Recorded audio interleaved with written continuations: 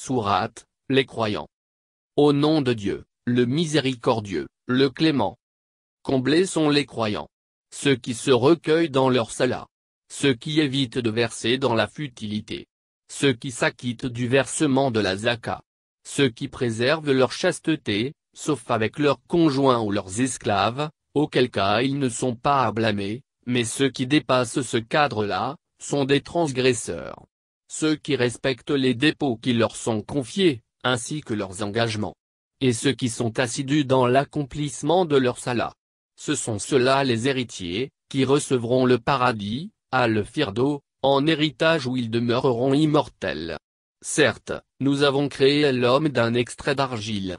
Puis nous en avons fait une goutte de semence déposée dans un réceptacle sûr. Puis nous avons transformé cette goutte de semence en une adhérence. Puis, nous avons fait de cette adhérence un morceau de chair mâchée. Puis, nous avons fait de ce morceau de chair mâchée des os que nous avons recouverts de chair. Puis, nous avons produit une nouvelle création. Dieu soit béni, le meilleur des créateurs. Puis, vous êtes destinés à mourir. Puis, vous serez ressuscités le jour de la résurrection. Nous avons créé au-dessus de vous cette orbite, et nous n'avons jamais été inattentifs à ce que nous avons créé. Nous avons fait descendre du ciel une quantité d'eau déterminée que nous conservons sur terre, bien que nous ayons le pouvoir de la faire évaporer. Avec cette eau, nous avons créé pour vous des palmeraies et des vignes, qui produisent pour vous des fruits en grande variété dont vous mangez, ainsi qu'un arbre qui pousse sur le mont Sinaï, qui donne une huile aux usages multiples que l'on peut consommer. Et il y a pour vous un enseignement à méditer à propos des troupeaux. Nous vous abreuvons de ce qui se trouve dans leurs entrailles. Ils vous offrent en outre de nombreux avantages, car vous en tirez votre consommation, et sur leur dos, comme sur les vaisseaux, vous êtes transportés. Nous avions envoyé Noé à son peuple. Il dit, Ô mon peuple, Adorez Dieu, car vous n'avez d'autre divinité en dehors de lui. Ne le craignez-vous donc pas? Mais les dénégateurs parmi les notables de son peuple avaient répondu, Cet homme n'est qu'un simple mortel comme vous.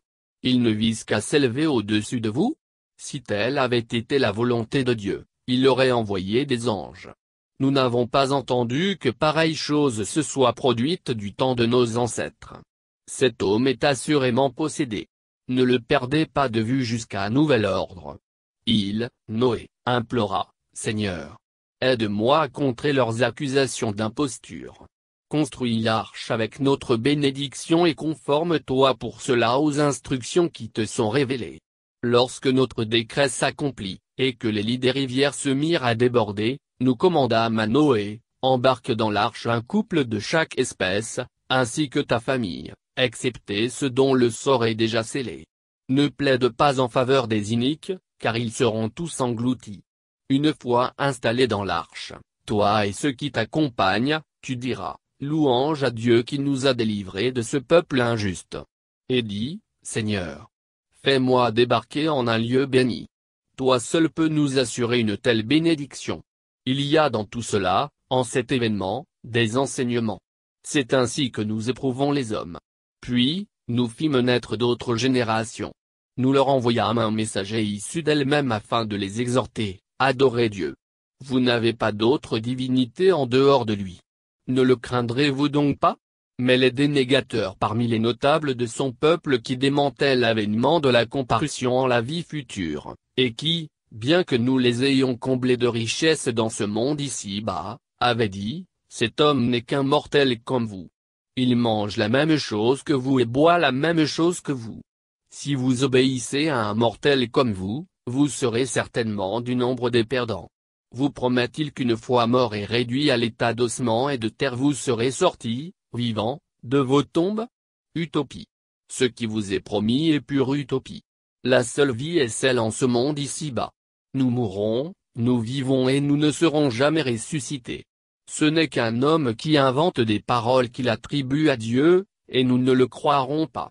Il implora, Seigneur. Aide-moi à contrer leurs accusations d'imposture. Le Seigneur dit, d'ici peu ils auront à le regretter. Un grondement effroyable les surprit justement, et nous les réduisîmes à l'état de vulgaires déchets. Que ce soit la fin des peuples iniques. Après eux, nous fîmes naître d'autres générations, car nulle communauté ne peut hâter sa fin, ni la reporter.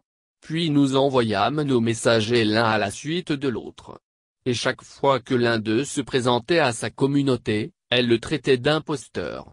Aussi les avons-nous fait périr les uns à la suite des autres, et les avons-nous fait entrer dans la légende. Que ce soit la fin des peuples dénégateurs.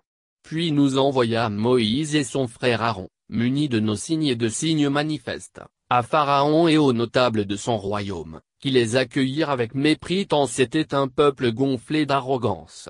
Ils lancèrent, allons-nous croire en deux hommes qui sont nos semblables, et dont le peuple nous est asservi? Ils les traitèrent d'imposteurs. Aussi, furent-ils anéantis. Nous avions donné l'écriture à Moïse, peut-être y aurait-il trouvé la guidance. Puis nous fîmes du fils de Marie, ainsi que de sa mère, un signe. Nous les abritâmes sur une colline fertile baignée de ruisseaux. Ô messager Mangez de ce qui est saint, car licite, et accomplissez de bonnes œuvres, car je suis informé de vos actes. Et cette communauté qui est la vôtre, ne forme qu'une communauté unique, et que je suis votre Seigneur. Craignez-moi donc? Mais ils, les communautés, morcelèrent leur culte en plusieurs écritures et chaque faction prétendit faire prévaloir ce qu'elle avait reçu, les écritures. Laisse-les sombrer dans le remous pour un temps. Ne voient-ils pas que nous ne leur accordons des richesses et une postérité que pour les encourager à accomplir de bonnes œuvres? Mais ils n'en sont pas conscients.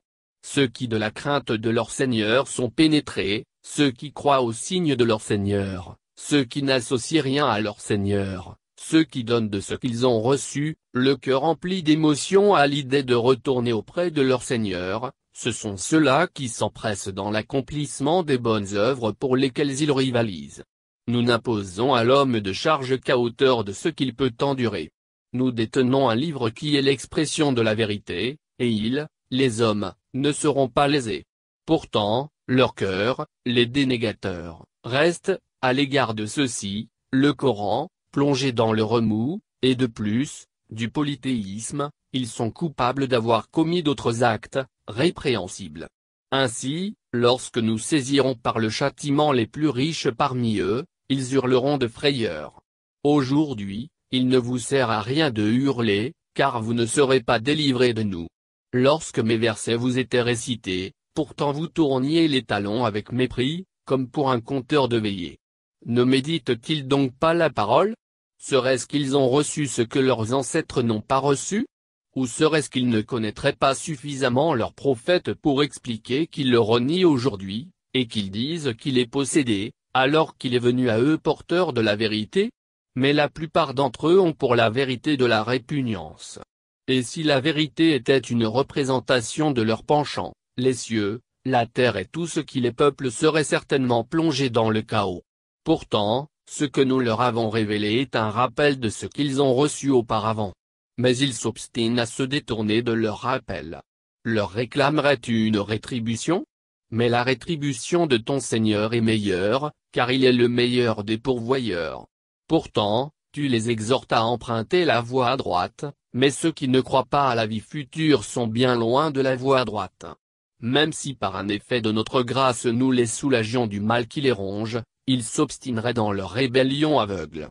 Nous leur avons pourtant infligé des malheurs, mais cela ne les a pas amenés à se soumettre à leur Seigneur, et ils ne l'ont pas imploré, de les sauver. C'est seulement lorsque nous ouvrirons devant eux la porte d'un châtiment plus terrible encore, lors de l'avènement de l'heure, qu'ils perdront tout espoir. C'est Dieu qui vous a fait naître avec le oui, la vue et vous a doté de la raison. Mais vous en êtes peu reconnaissant. C'est lui qui a multiplié votre nombre sur la terre, et c'est devant lui que vous serez rassemblés. C'est lui qui donne la vie et qui fait mourir, et l'alternance de la nuit et du jour lui incombe. Que ne le comprennent-ils pas? Au lieu de cela, ils raisonnent comme le faisaient les anciens. Est-il possible, qu'une fois réduits à l'état d'ossement et de poussière nous soyons ressuscités pour une nouvelle vie? Cela nous a été promis ainsi qu'à nos ancêtres par le passé. Et cela n'est rien d'autre que légende inventée par les anciens. Demande-leur, à qui appartiennent la terre et ce qui la peuple si vous avez quelque information à ce sujet? Ils répondront, à Dieu. Dis-leur alors, ne réfléchissez-vous donc pas? Demande-leur, qui est le Seigneur des sept cieux, le souverain du trône glorieux? Ils répondront, c'est Dieu. Dis-leur alors, ne le craignez-vous donc point? Demande-leur, qui détient entre ses mains la souveraineté absolue, sur toute chose Qui protège, et qui n'a pas besoin d'être protégé si vous avez quelque information à ce sujet? Ils répondront, c'est Dieu. Dis, comment dans ce cas vous laissez-vous envoûter? Pourtant, nous leur avons apporté la vérité, mais ils s'obstinent à mentir, car Dieu ne s'est octroyé aucun fils, et il n'existe aucune divinité avec lui, autrement chaque divinité se serait isolée avec ce qu'elle aurait créé, et certaines d'entre elles chercheraient à dominer les autres. Gloire à Dieu qui transcende ce qu'il lui attribue. Détenteur de la science de l'invisible et du visible, comme il est infiniment au-dessus de ce qu'on lui associe. Implore-moi, Seigneur. S'il te plaît de me montrer le châtiment qu'il aurait promis, ne me compte pas du nombre des coupables. Nous avons certainement tout pouvoir de te montrer ce que nous leur promettons. Réplique, à leurs affabulations, parce qu'il y a de meilleurs, le message, car nous savons mieux que quiconque ce qu'ils inventent. Dis, Seigneur. Je me réfugie en toi contre les incitations des démons, et je me réfugie en toi, Seigneur, afin qu'ils ne s'approchent pas de moi. Lorsque l'un d'eux, les dénégateurs, est au seuil de la mort, il s'écrie, Seigneur. Renvoie-moi, dans l'espoir que j'aurai par mes fautes en accomplissant de bonnes œuvres il n'en sera rien. Ces paroles qu'il prononce sont sans effet, car désormais il y a devant eux ce lieu intermédiaire, Al, Barzak, qui les sépare du jour de la résurrection. Puis, lorsque le corps retentira, aucun lien de parenté ce jour-là ne subsistera, et nul ne se souciera plus de son prochain. Ceux dont les bonnes œuvres feront pencher la balance en leur faveur seront les bienheureux. Ceux dont les bonnes œuvres auront été insuffisantes pour faire pencher la balance en leur faveur, ceux-là auront été les artisans de leur propre perte et séjourneront pour l'éternité dans la géhenne, dont les flammes dévoreront les visages qui se déformeront par les souffrances. Mes versets ne vous étaient-ils pas récités, et vous les avez déniés Ils diront, Seigneur. Nous avons été dépassés par nos malheurs, et nous étions égarés. Seigneur nous sortir de la GN, et si nous retombions dans nos revers, nous serions alors définitivement coupables. Il, Dieu, dit, restez-y et ne me parlez pas. Il y avait un groupe de mes serviteurs qui disaient, Seigneur, nous croyons. Pardonne-nous et étends sur nous ta miséricorde, car tu es le meilleur des miséricordieux. Vous étiez tellement occupés à les tourner en dérision que vous en avez oublié de m'évoquer. Et vous avez ri d'eux. En ce jour, je les récompense pour ce qu'ils ont enduré, car ce sont eux qui triomphent. Il dit, Combien êtes-vous restés sur terre en comptant en nombre d'années? Ils diront, Nous y sommes restés un jour, ou une partie de la journée. Interroge ceux qui tiennent des comptes. Il dit, Vous n'y êtes restés que peu de temps. Si vous aviez pu le savoir. Pensez-vous que nous vous avons créé sans but et que vous ne seriez jamais ramenés vers nous? Exalté soit Dieu, le souverain, la vérité, le vrai. Il n'y a point de divinité en dehors de lui, le Seigneur du trône glorieux. Quiconque invoque avec Dieu une autre divinité, le fait sans détenir la preuve de l'existence de cette divinité. Il devra en répondre devant son Seigneur. En vérité, les dénégateurs ne connaîtront pas les triomphateurs. Dis, Seigneur. Pardonne-moi et accueille-moi en ta grâce, car tu es le meilleur des miséricordieux.